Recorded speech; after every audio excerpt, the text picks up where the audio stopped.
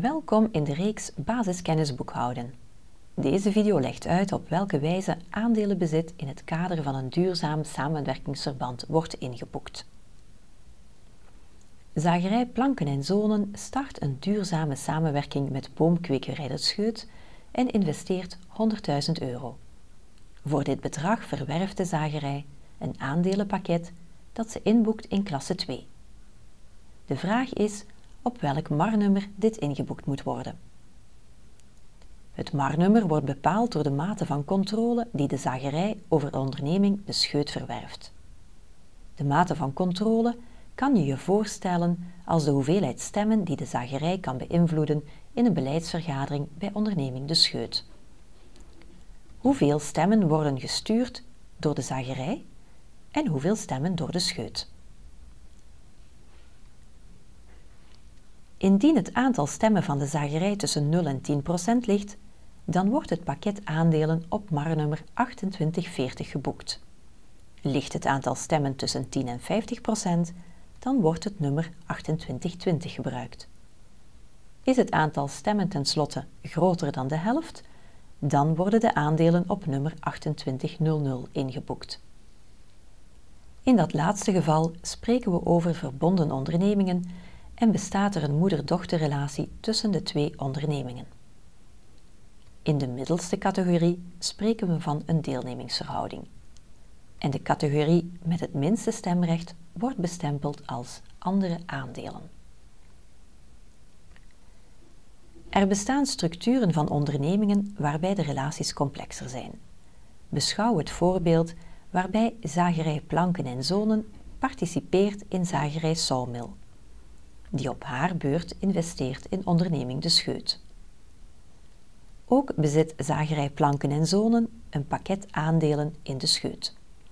De verhoudingen worden in deze figuur in een driehoek afgebeeld. Je kan dezelfde relaties weergeven in een verticale structuur met zagerij planken en zonen bovenaan.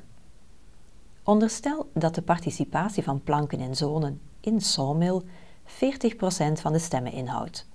Dan wordt dit pakket geboekt op nummer 2820 in de boekhouding van planken en zonen. De participatie van sawmill in de scheut wordt geboekt in de boekhouding van sawmill, niet in de boekhouding van planken. We beschouwen hier de niet geconsolideerde jaarrekeningen. De rechtstreekse participatie van 8% van planken en zonen in de scheut wordt door planken ingeboekt op nummer 2840. Merk op dat de relatie tussen planken en zonen en sawmill geen moeder-dochterrelatie is, maar slechts een deelnemingsverhouding en dit omdat het percentage kleiner is dan 50%.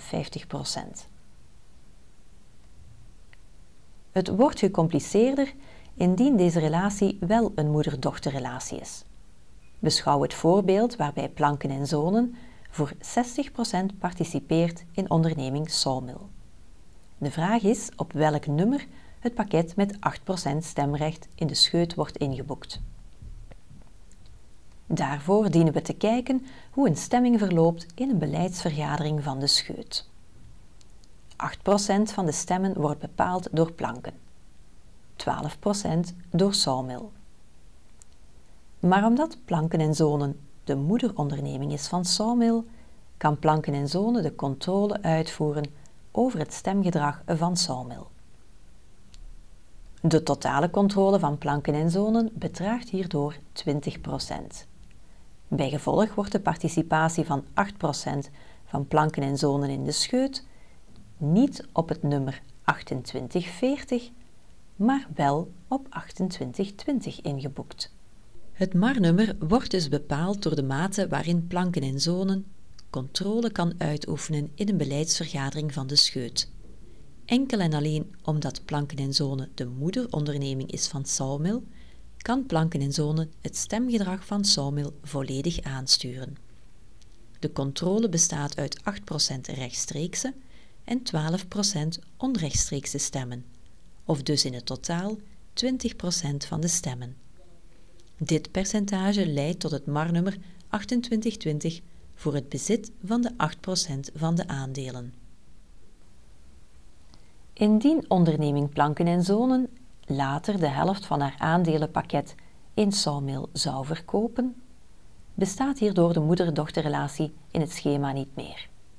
Op dat moment dient Planken en Zonen in haar boekhouding de resterende 30% in Sawmill over te boeken naar categorie 2820.